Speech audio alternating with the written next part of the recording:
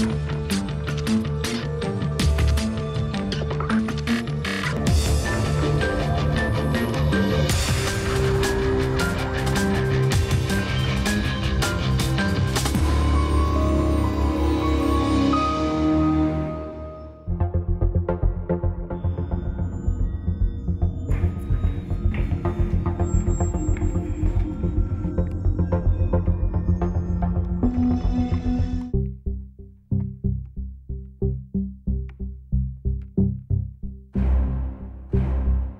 această ediție vă vom prezenta o modalitate inedită a unor infractori de a intra în locuințele unor bătrâni pentru a-i jefui.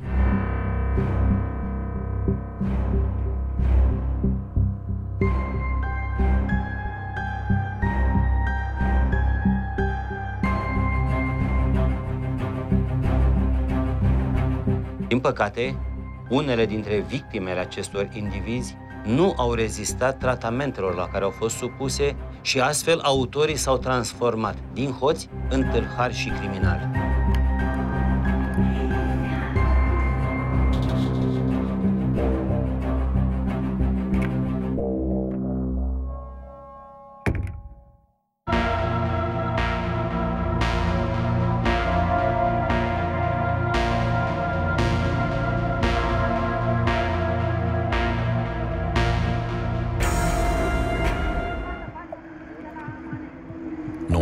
Mai 2011, ora 10.30. O femeie în vârstă de 74 de ani din Cluj se pregătește să se ducă la o înmormântare. Înainte de a închide poarta, doi bărbați o acostează și o întreabă dacă nu vrea să-i facă o reparație la trotuarul din fața casei. Femeia îi refuză și pleacă de acasă.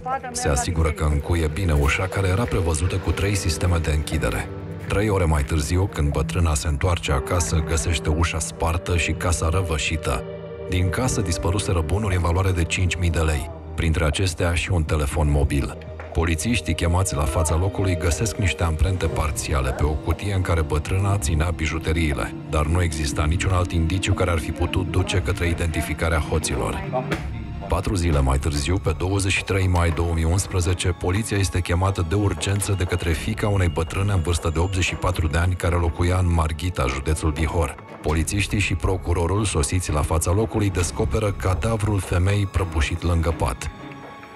Victima fiind singură, își lua anumite măsuri de precauție, își închidea ușa în fiecare seară cu o cheie, avea niște grilaje metalice care uh, dublau ușile de acces în locuință, le închidea cu lacătul, pe dinăuntru? Da, și uiajul metalic a fost găsit închis cu lacătul. Am reușit să, să stabilim că se pătrunsese prin uh, acoperiș.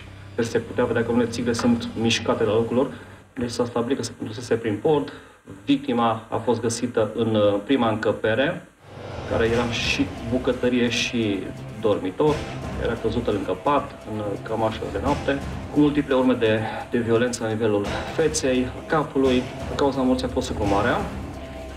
Femeia ucisă fusese învățătoare și avea o pensie de 900 de lei. Toată casa era răvășită, iar fata își dă seama că bătrânei îi lipseau bijuteriile.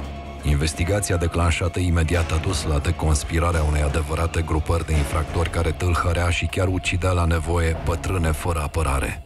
Victima avusese la un dat o sumă destul de mare de bani pentru că după pensionare se ocupa cu închiria de veselă pentru nunți și ar fi adunat bani, dar în ultimii ani de viață se pare că nu mai fi avut prea mulți bani pentru că ar fi dat rudelor, ar mai fi avut doar niște bijuterii pe care le purta, atât. Alte bunuri valoare n-ar fi avut în locuință. Niște bijuterii, un inel, o verighetă și niște cercei.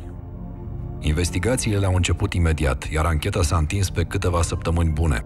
Infractorii nu lăsaseră urme la fața locului, așa încât cercul de suspecție a cuprins zeci de persoane. Au fost audiate rudele, vecinii, dar și infractorii cu mod de operare similar care acum erau în libertate. Din păcate, sutele de ore de interogatoriu păreau aduce numai la piste false. Versiunea principală a fost cea a omului în scop de tâlhărie. Nu am găsit urme de ce? Pentru că inculpații au acționat premeditat și au luat măsuri de precauție. Au folosit mănuși și și-au ars hainele. Ca atare, nu am găsit nimic. De, din cauza aceasta, ancheta a fost foarte grea în prima fază a investigațiilor. Când am ajuns la fața locului și am văzut uh, modul de operare, adică pătrunderea prin acoperiș, Am crezut că ar putea fi cineva din zonă, în sensul că înainte de anii 2000 uh, am primit multe informații de la colegii din județele vecine că există mai multe fapte, tâlhării, furturi din locuință sau chiar, uh, mi se pare că erau și două omoruri, uh, unde suspecți ar fi niște persoane din rândul etniei romilor care au pătruns prin acoperiș. Și ziceau ei că sunt indicii că ar putea fi din județul Bihor, de undeva din Săcuieni. Cei patru care i-am uh, identificat noi au preluat probabil modul de operare. Ne așteptam să fie o anchetă destul de grea, pentru că noi nu aveam nicio probă concretă și aveam doar un comportament suspect, atât. După zile în șir de audiere a persoanelor suspecte și de verificare a alibiurilor acestora, variantele erau eliminate una câte una.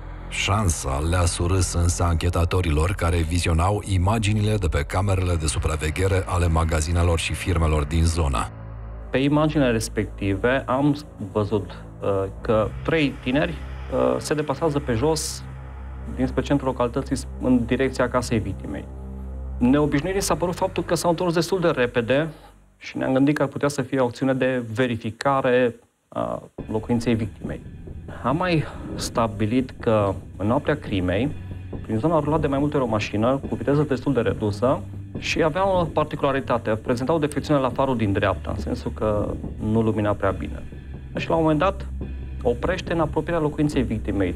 Faptul că ei au angajat un cetățean maghiar care avea o, o mașină cu care îi transporta pe ei la locul faptei, practic a îngreunat puțin uh, ancheta. Mașina era matriculată în România sau în Ungaria? În Ungaria.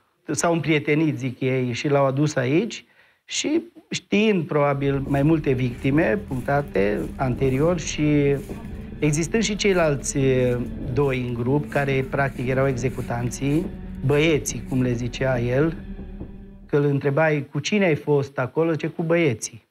Adică cu ceilalți doi care practic erau mai tineri și care uh, Mai agili. escaladau, uh, știau cum să desfacă acoperișurile pentru că ei le reparaseră sau uh, anterior sau chestiuni de genul ăsta.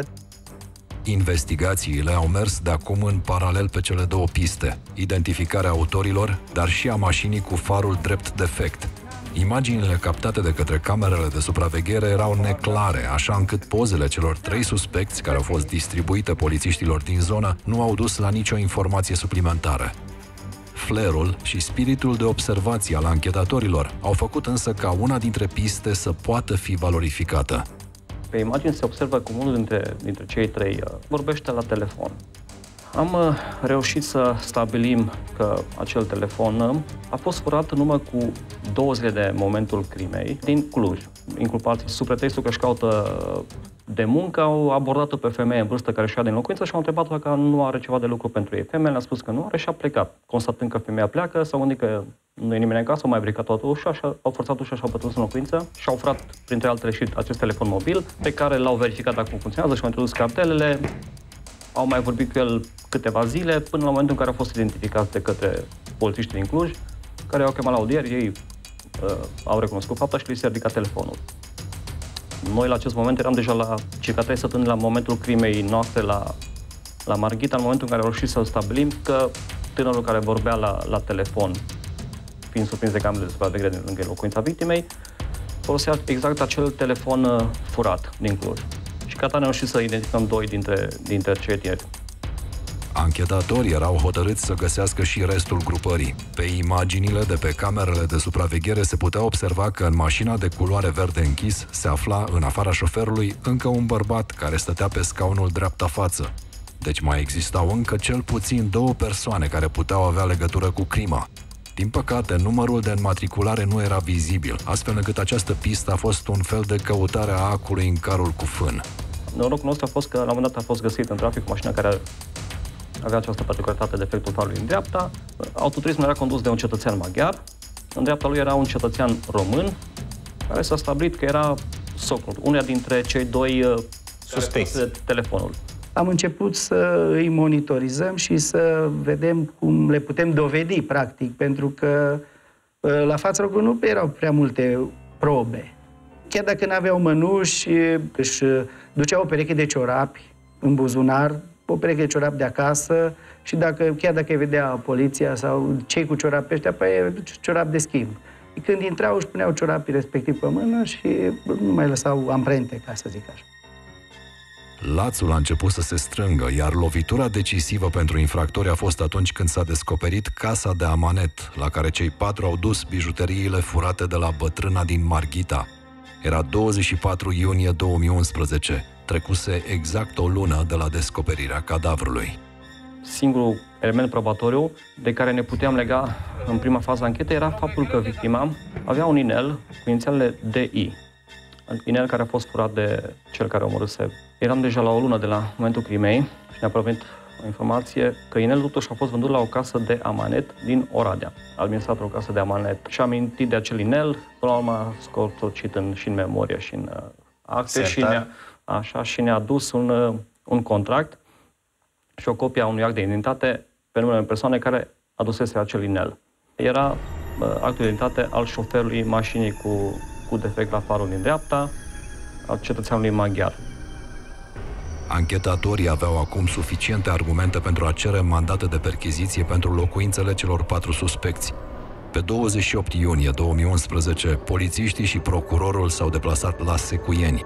Spre surpriza lor, cei patru nu erau de găsit. Familia spunea că plecaseră în urmă cu o zi la Arad pentru a găsi ceva de lucru.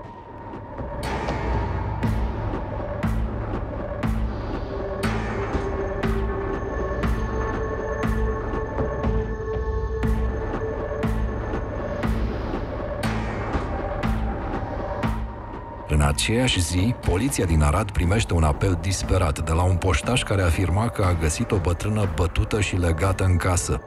S-au deplasat la Arad, unde în cursul dimineții, procedându-se în același mod, au atacat o altă femeie în vârstă în locuință, s-a pătruns prin acoperiș, au tâlhărit-o, au bătut-o, au legat-o, cu mine în spate, au pus căluș. Această a doua victimă a scăpat cu viață. Da, da, a avut noroc și a scăpat cu viață, cu toate că agresiunea a fost destul de dure. M-a sunat-o să vadă dacă e cineva cu ea sau nu. Noi am așteptat mai după coș și eu zis că nu e nimeni și e singură. Și ce a să voi apoi? Să venim noaptea. Păi și nu v-ați gândit că noaptea, dacă e femeia singură în casă, se trezește, ca și la Marghita. Nu, că Ce să faceți? Sau cum mi-au zis că uh, în, în dezbani în camera respectivă, femeia nu acolo doarme, ci în, într ultima Nu cameră. acolo da, doarme, dar totuși. Ați pățit la Marghita, ați, ați omorât o femeie. Dacă se trezește și femeia asta? Aveau role împărțite, doi intrau în locuințe, doi așteptau afară și asigurau paza. Înainte de a comite faptele, totdeauna unul dintre ei, cel puțin, verifica încă o dată ca să se asigure că victima este acasă, că este singură, că nu este cu rude sau cu alte persoane, sub diferite pretexte, placerea un pahar de apă, ba, întrebau de o adresă anume. Deci se asiguraseră că este acasă și cea de-a doua victimă din Arad au atacat-o și au tâlhărit-o.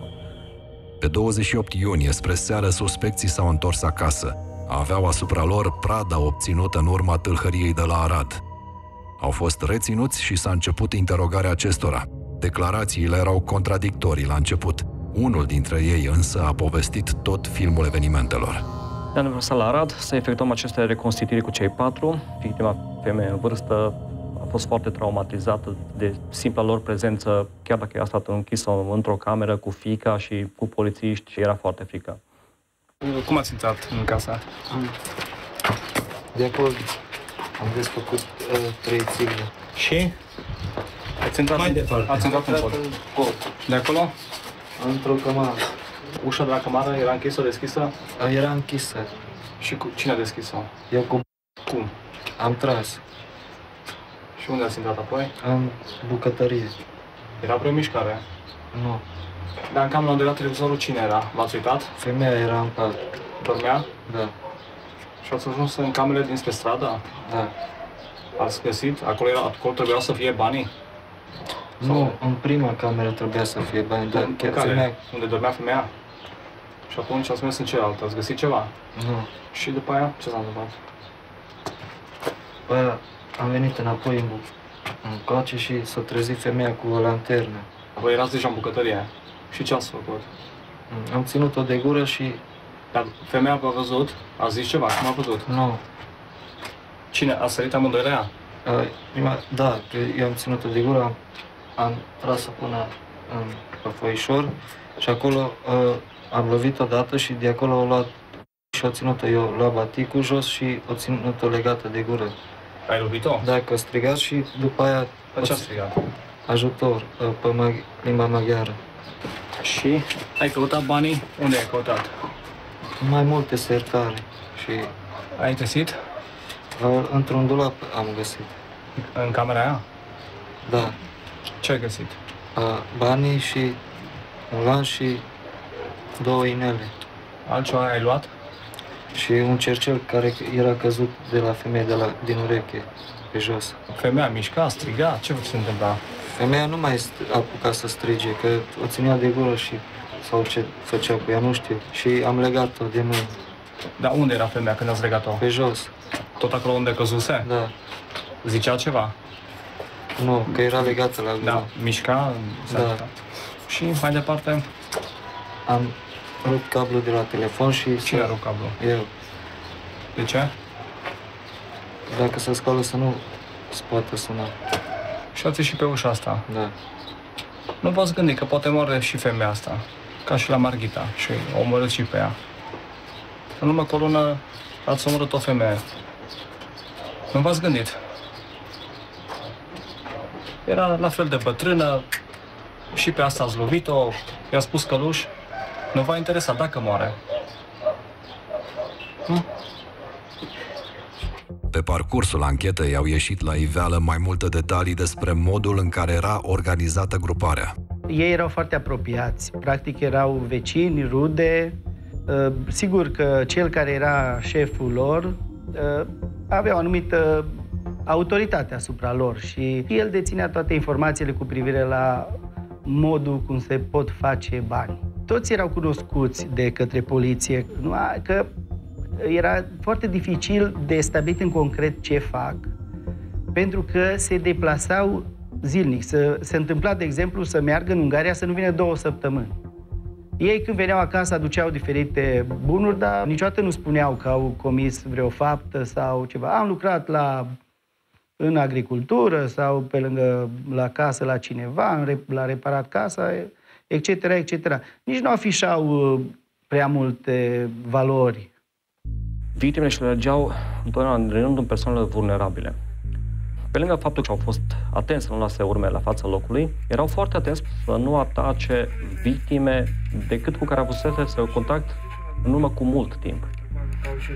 Aveți cumva de lucru pe aici? Da, vă rog, dacă vreți să mă ajutați puțin în niște câini am aici de aranjat, dacă se poate.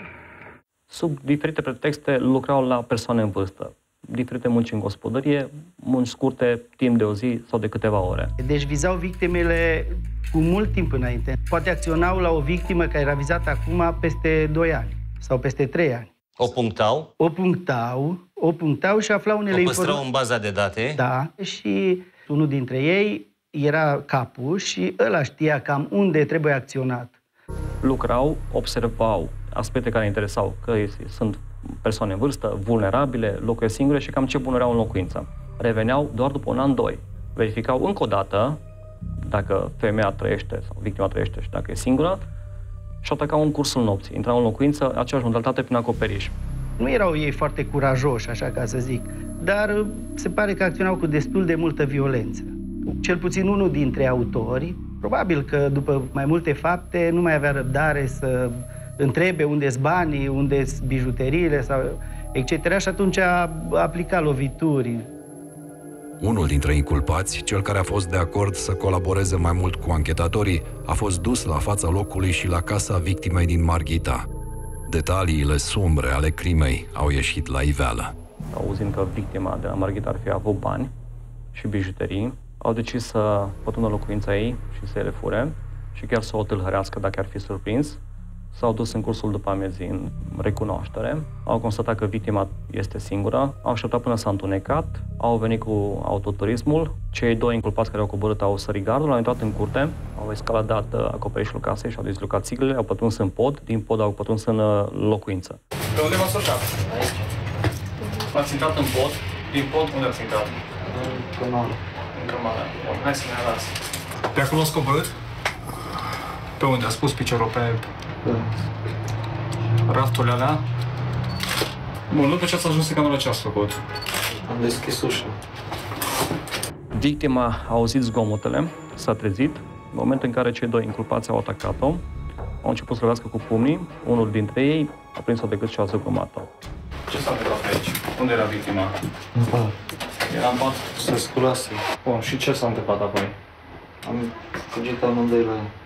Am mers până la pat, am lovit-o și o ținea Da. de gură. Și cine a lovit-o primul? A eu, Tu? Cum ai lovit-o? Cu ce? cu pumn, Unde? În ce zona? în cap, cam așa. Mai departe? Eu până atunci i-am dat inelele jos și cercei. În continuare au scotocit prin toată locuința.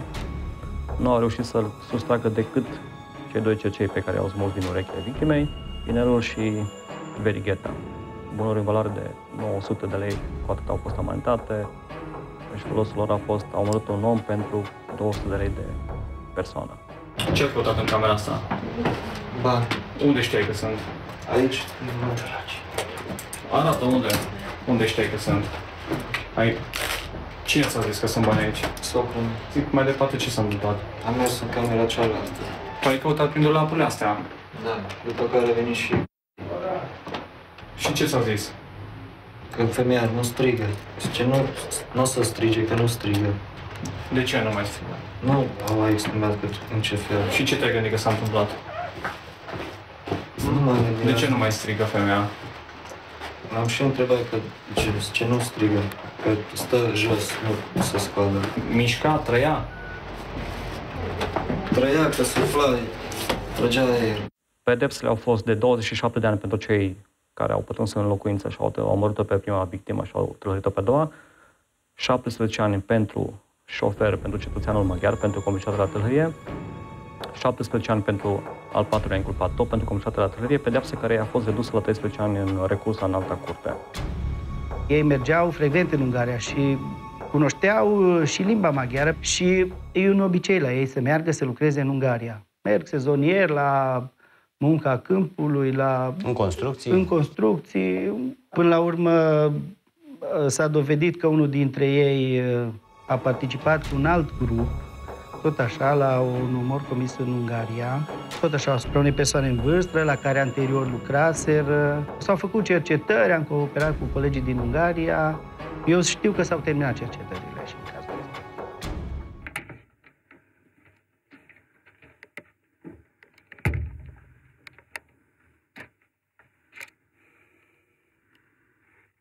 Cei patru infractori și-au pregătit terenul cu mult timp înainte, intrând în curțile și casele bătrânilor sub diferite pretexte. Pentru diversele treburi din gospodărie, nu apelați la serviciile unor persoane pe care nu le cunoașteți îndeajuns de bine. Nu oferiți nimănui informații referitoare la programul zilnic sau la bunurile și valorile pe care le dețineți în locuință. Dacă totuși sunteți nevoiți să apelați la serviciile unor persoane pe care nu le cunoașteți îndeajuns de bine, este necesar să aflați cât mai multe date despre acestea. Discuțiile cu ei este bine să le purtați în prezența unui vecin sau unei persoane de încredere.